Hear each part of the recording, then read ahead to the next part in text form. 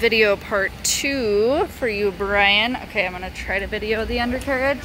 I don't know that I'm gonna be able to do it very well. Ooh, yeah, kinda. So everything looks pretty clean. I don't know if I can really zoom in without my phone getting wet. Let me go to the back and we'll look from here. Goofy video, I'm sorry, but I want you to know everything about the car. Okay. Oh, spare tire. Um, I'm not mechanically inclined, so I know nothing. Um, but other than that, everything there and there. Okay, there you go.